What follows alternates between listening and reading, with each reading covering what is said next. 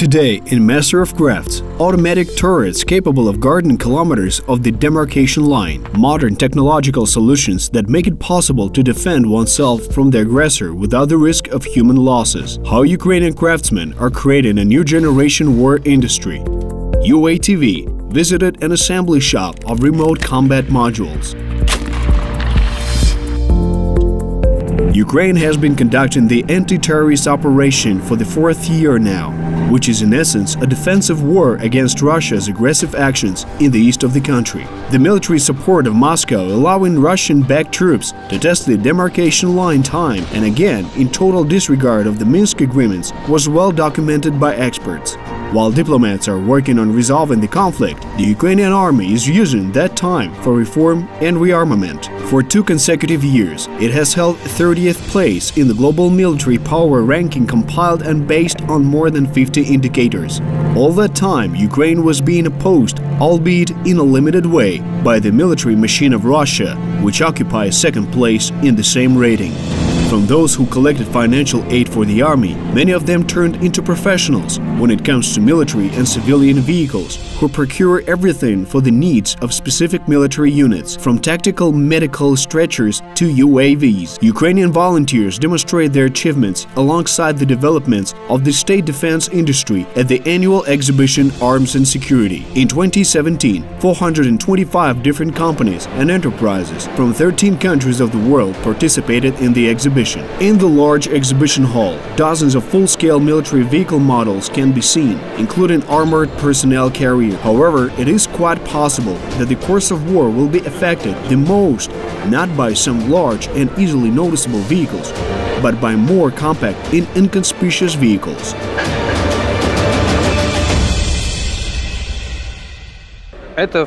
Essentially, this is the future of all weapons, and it's what all developed countries are engaging in today. First and foremost, it removes people from the line of fire and makes it possible to provide combat support without becoming a priority target in taking enemy fire. Volunteer Danilo Kovzhun presents at the exhibition what is called an automatic turret for simplicity, and in science it is called a stationary device capable of fulfilling combat tasks that are assigned to it. This module, called Saber, connects to a portable computer, independently finds targets, and offers its operator to decide whether to open fire or not.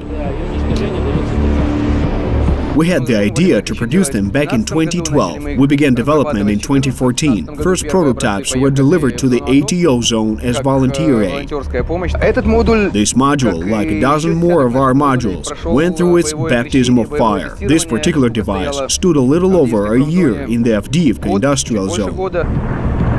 For two and a half years, this has been the zone of the fiercest battles, just a few kilometers from Donetsk, which was seized by Russian-backed troops. The Saber turret is not just a machine gun on a stand. Ukrainian designers know that their equipment has to work in harsh conditions. Combat experience shows that modern radio-electronic warfare means which only Russia possesses are used against the armed forces of Ukraine.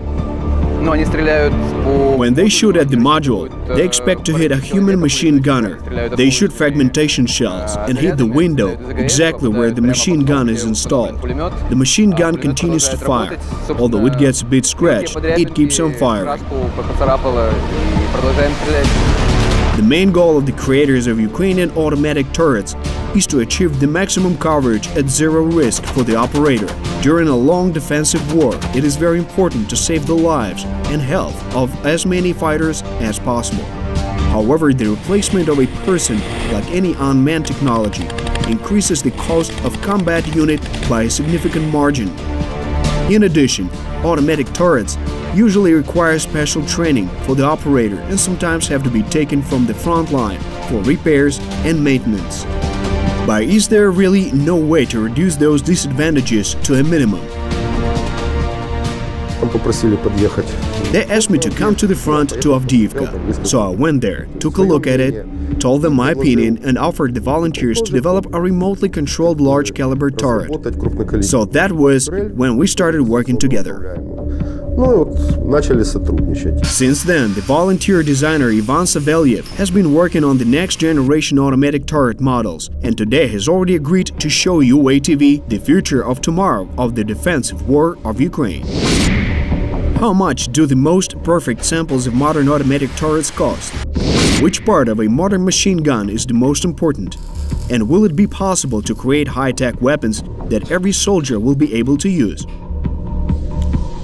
Perhaps the most famous automatic turret used in Hollywood movies is the close-in weapon system Phalanx, developed in the US for the needs of the Navy back in the late 1970s. Today it is used by 16 countries of the world. The purpose of this defense weapon is to shoot down anti-ship missile, and trusting people with aiming at quickly moving targets is pointless, as nobody has such a quick reaction. Only a computerized system is capable of this.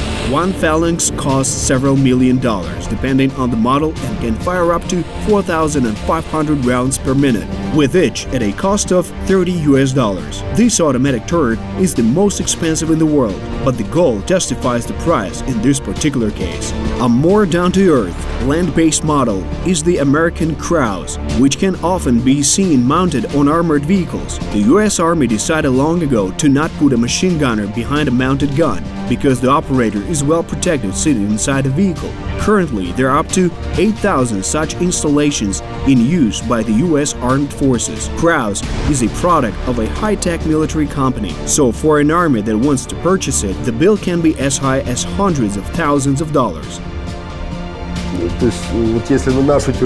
Now, if we attach a thermal imager and another machine gun to our turret and give two more gunners to boot, that would compensate the price of that target device, right down to the penny. Now the Ukrainian army is using every single military equipment unit sparingly.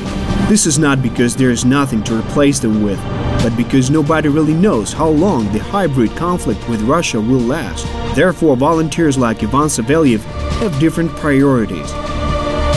Ukrainian designers solve a lot of technical tasks imposed by real war in the shortest possible time and as cheaply as possible. Я 14 лет работал главным инженером завода в Киеве. Ну, а потом I начали- worked as a chief designer of a plant in Kiev for 14 years. Then the events on the Maidan began, and I took part in all of На them. Востоке. After that, the military operations began in the east. Как бы By that time, we had already become definitive experts on a number of issues. Ivan's main expertise is stationary machine guns. Since May 2014, he, together with other volunteers, delivered modernized guns right to the front line to Ukrainian fighters. As a result, the volunteer of goods for soldiers then went to the front as a volunteer soldier and then was mobilized and fought in fierce battles in defense of the Donetsk airport. We must increase the effectiveness of the weapons that we already have. Accordingly, if I, for example, make a machine gun that weighs as much much as a Soviet one, but is twice as accurate, then logically the number of targets hit will be twice as high. Moreover, the added benefit of such an efficient machine gun is that the ammunition consumption will be two times lower. Those were Ivan's priorities for the modernization of the Sabre automatic turret – efficiency and convenient maintenance. How it is done. The new model of this automatic turret, which has not yet been given a name, is literally being developed in a garage in an industrial district of Kiev, an automatic infantry turret with remote control capabilities. It consists of three main nodes the turret itself, on which the machine gun and the targeting device are mounted, the power supply block, and the connection cable. In the best American models, the power is provided by a high capacity battery, which costs thousands of dollars. For this very reason, Ivan decided to use a reliable car battery in decent condition as the base of his turret as a less costly alternative. This allows you to charge and recharge the battery from any generator. It allows you to draw power from telephone lines that run along the front line. But accordingly, that causes great losses in voltage because the standard output of such grids is usually around 140 to 150 volts. It is also possible to connect a thermal imaging sight to this system and even charge a laptop from it. It is very important for Ivan that all technical solutions are universal if and where possible. When we were designing it, we faced a technical task. First, to provide fairly high precision firing. Second, the ability to fire accurately at moving targets. That is, you lead the target and the system processes it on its own through a laptop and gives the command in anticipation of an NPC of the enemy, let us assume. These tasks were solved with the help of two separate horizontal targeting nodes. One of them homes in on the target quickly, but not very accurately, while the other one is slower but much more accurate.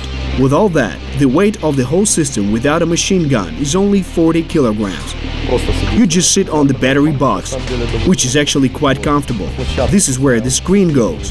The laptop most likely goes here. There are two buttons. This is the rapid horizontal targeting. There is a switch. This is the precision horizontal targeting. It is indeed very accurate. And there is vertical targeting, that is range adjustment. Everything can be specially configured for the convenience of the device operator. The red button is pressed to open fire. It is not possible to break the remote control panel off, as it is screwed in very tightly. This platform can house either a machine gun or an anti-tank grenade launcher. Savelyev says that he did his best to make a universal automatic turret, which would be simply designed and would not require any special or rare parts. That is, it would be as easy as possible to repair and very simple for any soldier to learn how to use it. We received feedback from that side on some turrets. There is at least one video of our installation in action at a distance of 1,700 to 1,800 meters. That's quite a long distance for a large caliber machine gun. Some soldier unfortunately looked out a window, and a stream of bullets hit the window in a perfect line. He was surprised and confused as he didn't know what had hit. A stream of 12.7 caliber bullets hit the window with perfect accuracy, not even deviating to the left, right, up or down. So all the shots hit the spot from where the soldier had looked out. The brigade couldn't understand from where they were shot, as if it was from point-blank range. But that was not the case at all.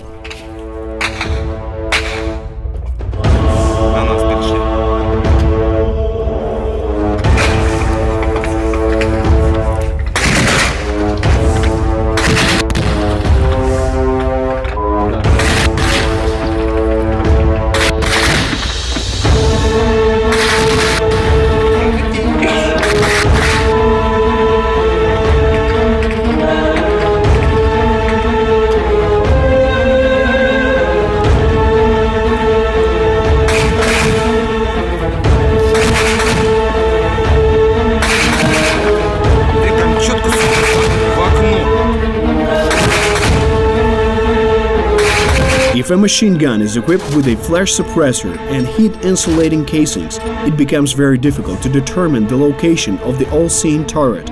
All that has already been tested by the Ukrainian military on conventional small arms.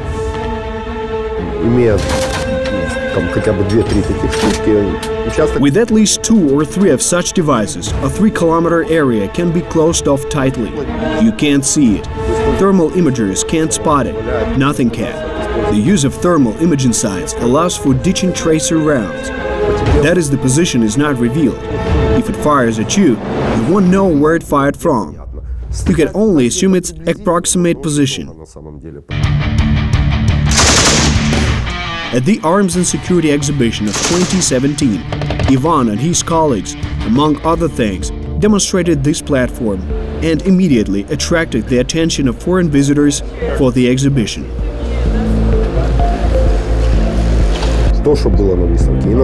The foreigners at the exhibition. It would be wrong to say that they missed a thing of what was presented there. They looked at and took photos of every single exhibit there was on display. Any war drives progress forward if you have something up here. And when the war ends, the progress remains and continues. They strive to ensure that their developments from the time of the defensive war of Ukraine become the foundation of the future of a peaceful and prosperous country.